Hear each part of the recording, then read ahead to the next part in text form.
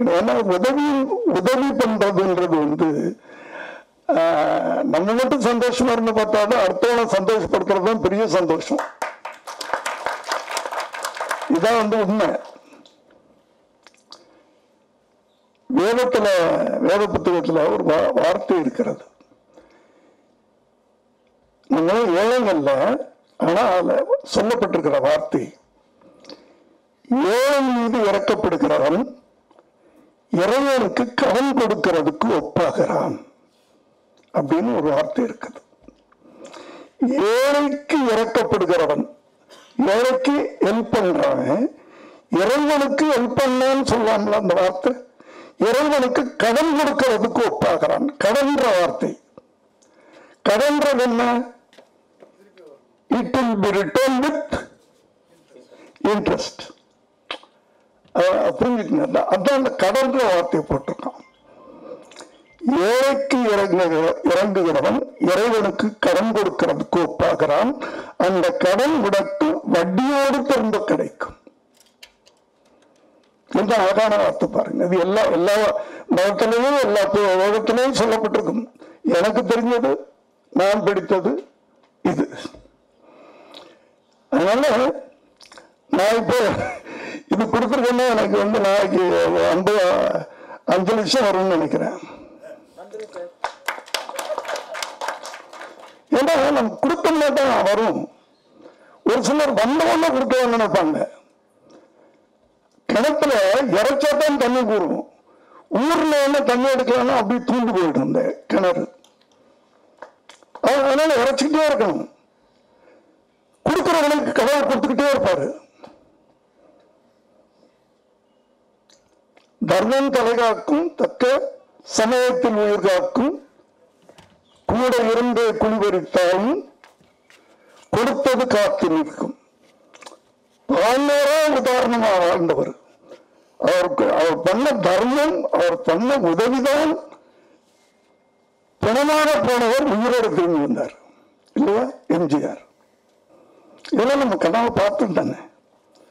அதனால உதவி பண்றதுன்றது வந்து நம்ம கொடுத்தோம்னா பல மடங்கு கிடைக்கும். கொடுக்கறதுக்கே இப்போ நான்லாம் வந்து அஹ், மிஸ்கின் மாதிரி இல்லை.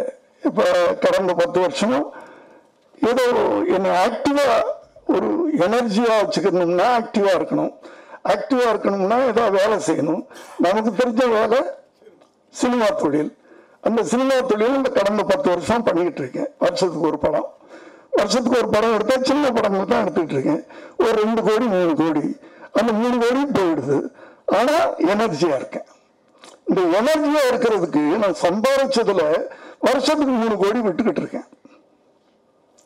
ஆனா வந்துகிட்டு இருக்கு. ஏதோ ஒரு விதத்துல. அந்த பழைய படங்கள்ல இருந்து அதுல இருந்து இதுல இருந்து கடவுள் கொடுத்துக்கிட்டே இருக்காரு. ஏன்னா கடவுள் சொல்றது இறைவன் ஆஹ், இருக்கிறான் ஏது இருக்கிறான் அப்படின்றதெல்லாம் நமக்கு தெரியாது.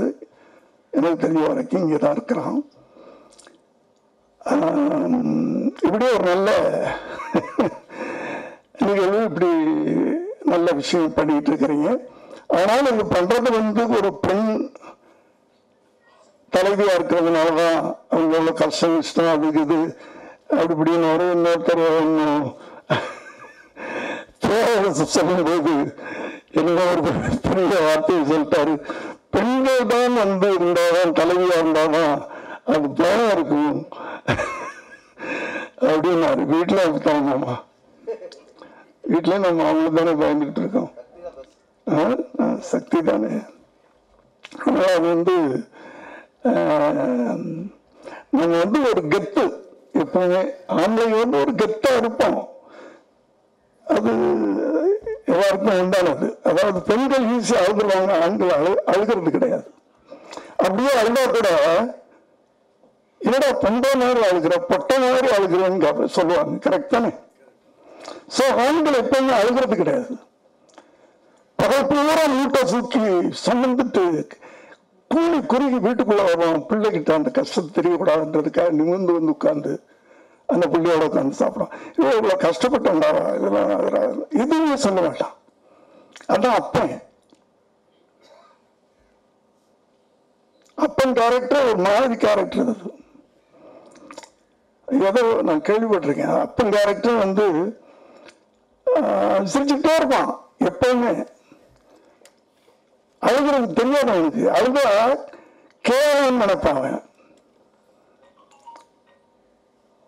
மாட்டு தான் பிள்ளைங்க. அதாவது லைஃப்பை பார்த்தீங்கன்னா சின்ன வயசு தான் அவனுக்கு அந்த படிக்கிற வயசு வரைக்கும் தான் அவனுக்கு வாழ்க்கை என்ஜாய் பண்ண முடியும்.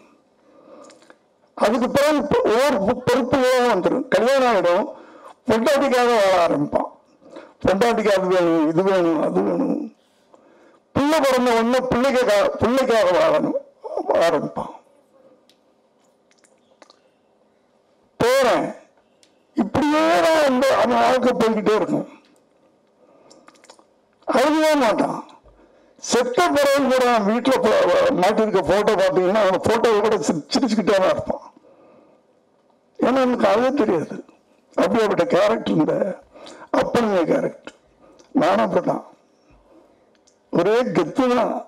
வேற எதுவுமே கிடையாது. இங்க வ- போய்கிட்டு இருக்கேன்னு நினைக்கிறேன்.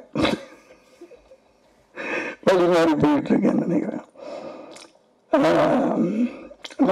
இப்படி ஒரு நல்ல விஷயம் பண்ணிக்கிட்டு இருக்காங்கன்னா அவங்க தலைவியா இருக்கிறதுனால மட்டும் இல்லை நிர்வாகம். அந்த செயலாளர் பொருளாளர் அதில் இருக்க உறுப்பினர்கள் இத்தனை பேர் சேர்ந்து செஞ்சாத்தான் ஒரு சங்கம் நல்லது பண்ண முடியும். தலைவரால் மட்டும் முடியாது. அரசியல் அப்படித்தான். ஒரு தலைவர் மட்டும் நல்லவனா இருந்தால் நாடு உருப்படாது இப்போ இருநூத்தி முப்பத்தி நாலு தொகுதி இருக்குன்னா அந்த இருபத்தி இருநூத்தி முப்பத்தி நாலு தொகுதியிலையும் நிக்க வைக்கிறதுக்கு தலைவர் நல்லவரா இருக்கணும். தலைவர் மாதிரியே அத்தனை பேரும் நல்லவரா இருந்தா தான் அந்த நாடு உருப்படும். தலைவர் மட்டும் நல்லவரா இருந்து மற்றவங்களாம் திரும்ப போகலாம் சோ ஒரு சங்கமும் ஒருத்தான். தலைவர் மட்டும் ஹெல்ப் பண்ணணும்னு நினைச்சா பத்தாது. கூட இருக்கிறவங்களாம் சேர்ந்து இந்த நல்ல விஷயத்தை பண்ணிட்டு இருக்கிறீங்க எல்லாருக்கும் என்னுடைய வாழ்த்துக்களை சொல்லிக்கிறேன். ஏன்னா நான் வந்து இயக்குநர் சங்கத்தில் இருந்திருக்கிறேன். தயாரிப்பாளர் சங்கத்தில் இருந்திருக்கிறேன். இப்படி அதனால தெரியும் ஒரு தலைவனுடைய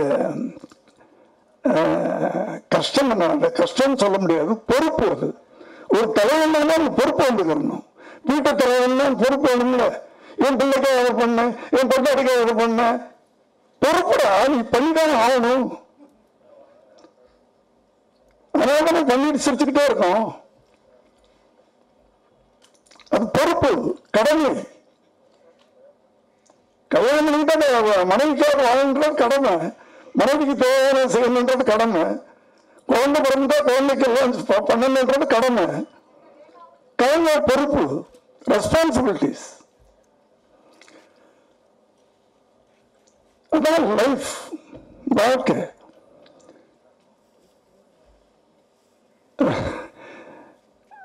பேரரசு பேசும்போது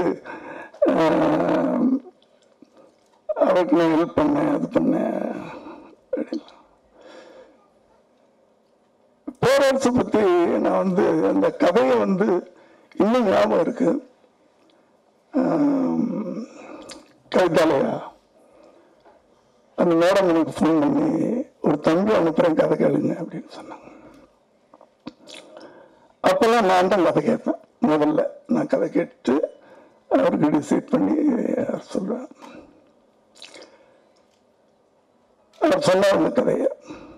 அதாவது அவர் கதை சொல்லும்போது அவர் மூஞ்சியே பார்த்துக்கிட்டே இருப்பேன். அவருக்கு ஒரு சின்ன குறை இருக்கும் எனக்கு தெரியும். ஆனால் பேச ஆரம்பிச்சா அந்த குறையே இருக்காது. திரைப்படத்துல அந்த கேரக்டர் எப்படி வரும் எப்படி பேசும் எப்படி நிற்கும் எப்படி திரும்பும் எப்படி உட்காரும் அப்படி சொன்னார் அந்த கதையை. சும்மா ஒரு உட்கார்ந்த உட்கார்ந்த இடத்துல இல்லை. அப்படியே விஷுவலைஸ் பண்றாரு. அவர் கதை சொல்றவரை நான் ஸ்கிரீன்ல பார்த்துக்கிட்டு இருக்கேன். சொல்லிட்டு அவர் வெளியே போனார் நான் விஜய் கிட்ட எல்லாம் உண்மையிலேயே. அந்த நேரத்துக்கு ஃபோன் பண்ணி இந்த படம் நாங்கள் பண்ணுறோம் அதுக்கப்புறம் விஜய் சாப்பிட்டு அனுப்புனேன். விஜய்கிட்ட அப்படி ஒரு கலைஞனுக்கு நேரேஷன்ன்றது வந்து ரொம்ப ஒரு எழுத்தாளனுக்கு ஒரு இயக்குனருக்கு நேரே நேரேஷன் பண்ணுறது இப்போலாம் வந்து எல்லாமே ஒரு ஷார்ட் ஃபிலிம் எடுக்கிறாங்க. போய் ப்ரொடியூசர்ட்டு போட்டு காட்டுறாங்க. நல்லா இருக்கு வெரி குட் எடுத்துரு அப்படின்றாங்க. அவங்க கவர் சொல்ல சொல்லுங்க. தெரியாது. அவங்களுக்கு எல்லாம் அவங்க அவங்க பிரெயினே எங்க இருக்குன்னா அந்த லேப்டாப்ல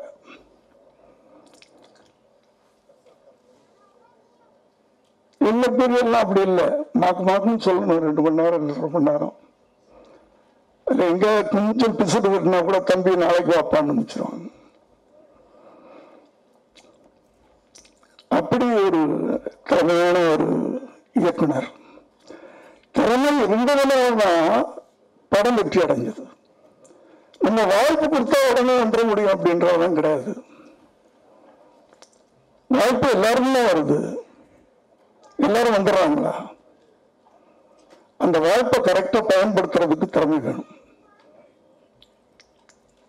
மிஷ்கினை பத்தி சொல்லும்போது யூத் அப்பா ரொம்ப யூத்தா இருந்தாரு. யூத்தில் தான் சாரி சார் நான் நான் தான் old man you are very very very much youth உங்களுடைய எண்ண ஓட்டங்கள்லாம் வந்து நான் பேரரசுலாம் ஒரு ஜாதி. படம் பண்ணுறதில்ல புரியுதா? சொன்னார்ல.